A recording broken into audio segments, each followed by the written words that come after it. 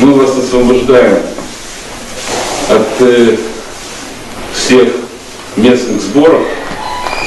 Э, то есть э, я понимаю вашу, Ренат понимает вашу экономическую ситуацию, эти убытки, то, что вы перевозите медиков, помогаете нам городу, то, что сталкиваетесь с этими трудностями, которые сегодня возникают у вас из-за нехватки пассажиров потока на ваших линиях.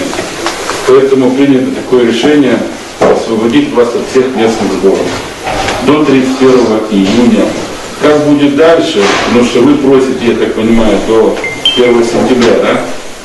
Вы просили. Но э, сейчас давайте по этапу. То есть, если будет такая же ситуация экономическая с этим э, связана с коронавирусом в стране, то, естественно, то мы пойдем на уступки, опять освободим вас от местных э, сборов и налогов. То есть это такой э, жест наш э, партнерских отношений, будем так говорить, э, что мы понимаем сегодня ваши трудности, идем вам полностью навстречу. Заранее просто посмотрим, что будет в конце месяца. Если будет то же самое продолжаться, освободим и в июле месяце от этих оплат. Надо все смотреть будет по месту.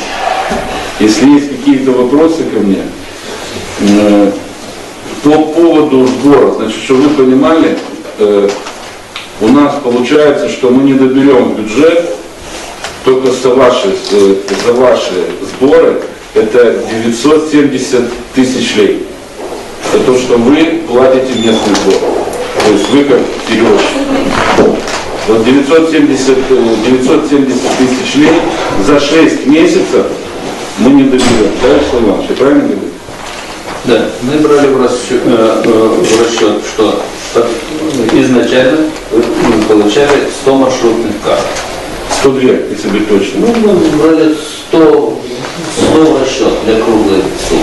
Исходя из вместимости и э, ставки сбора, это э, получалось там, около 80 с лишним э, тысяч ежемесячно. И путем перемножения выходили на эту сумму. И второй аспект, который я тоже хотел еще сейчас э, сказать, во исполнении вчерашнего решения было определено, что вы выпускаете на линию сколько процентов? Уважаемый директор, процентов? Значит, э, я понимаю, что, может быть, кому-то непонятно было э, этот процент, но это процент не просто общего выхода, а процент на каждом маршруте. И что мы видим? Давайте так, чтобы вы сами оценили ситуацию. Первый маршрут сегодня вышел 6, седьмой 2, 2 от 6 это 100. Девятый вообще ничего, десятый 11, э, одна машина на десятке, 11, 9, и дальше, 15, 1, 16, 1, 20, 4. Тоже. И если я понимаю, откуда берется 11, то не понимаю, почему не берется 20. Значит, здесь не, до, э, не доглядели. И 21, 3.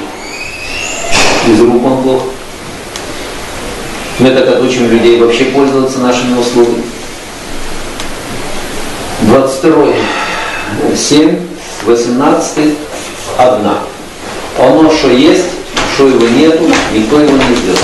Это так чисто для самоуспокоения и ничего другого.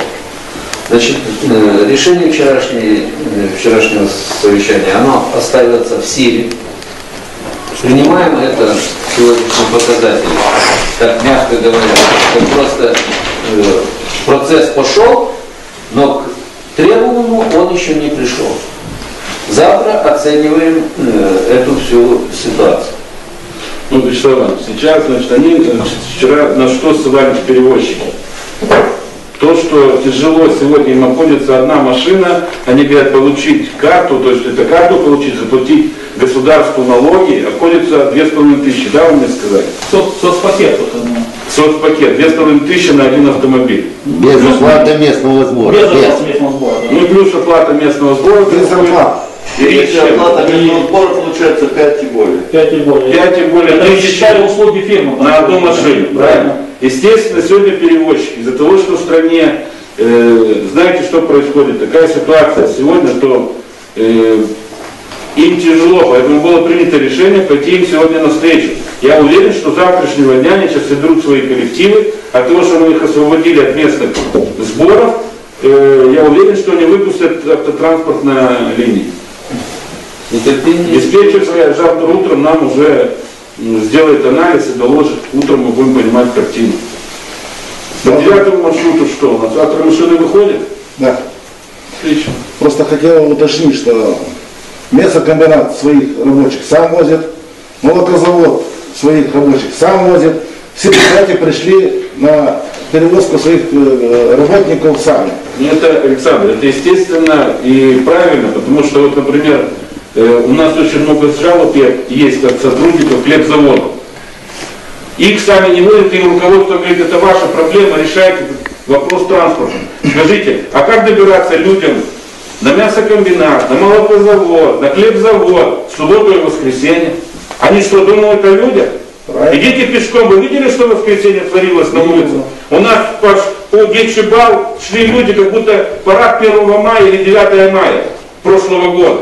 Люди шли с центров на банк пешком. И вы видели, что это шла прямо колонна людей. Это что, забота о людях? Что за они запретили нам выезжать? Поэтому мы готовим к вам обращение, чтобы на субботу воскресенье мы могли тоже работать. Вы его еще вчера дали. И пассажиров по субботу воскресенье в два раза меньше, чем будет рабочий день. Я знаю, я понимаю эту трудность. Мы вчера, Нет, мы вчера в 8.15 утра обратились в Национальную комиссию о том, чтобы они разрешили в Бельцах работу транспорта. Потому что не забывайте, что в воскресенье люди идут на кладбище и в понедельник. И как туда доставить людей, я сегодня пока не вижу, но ответа от национальной комиссии пока нет. Но мы обратились, чтобы э, нам разрешили в субботу и воскресенье пустить на линию транспорт. Но что то, что было в это воскресенье, что люди шли с Байдукова, люди шли с центральной части города пешком на БАМ, это не издевательство над людьми, когда взрослые люди старше 50 лет идут да, я понимаю, что у нас заботятся все о нации, спорт, физкультура, я это только приветствую. Но для этого есть э, другое, наверное, время без вот этих марш-бросков, что было в воскресенье от центральной части города до банка. И также на восьмой шли, да, Иван Иванович? И все это мы наблюдали. А что людям делать, которые на угольнике живут? Они хоть изучили эту э, ситуацию, которая творится сегодня в нашем городе? Они пустили, идите пешком, и все. Вынудили людей э, воспользоваться э, индивидуальным личным транспортом. Машины, Такого какой был- трафика, как как эти выходные. Вы выходные, видели, сколько машин в городе было? Тысячи машин вышли на линию, именно частный транспорт. выезжали машины, понятно, что им там гидротехнического было, на нем ни стопы не горели, ни- ничего не горело. Лишь бы, лишь бы как-то люди, чтобы добирались туда, куда им надо. Или они думают, что в Бельцах живут самые богатые, будут пользоваться такси. Такси в центр, такси на банк, такси э, на угольник, понимаете? Поэтому люди пешком пошли. И они эту ситуацию, видите, не знаю, изучают, не изучают. Ну, то, что мы наблюдали на выходные, это никуда не годится. Поэтому было вчера отправлено письмо 8.15 на имя премьер-министра о том, чтобы нам разрешил выходить транспорт на субботу и воскресенье. Что касается нас, я вам уже довел, значит, э, с Ренатом посоветовали, Ренат одобрил это, чтобы освободить вас до 31 июня. Что будет как дальше, уже сядем ближе к 31 июня, там будем разговаривать. 1 июля, вернее.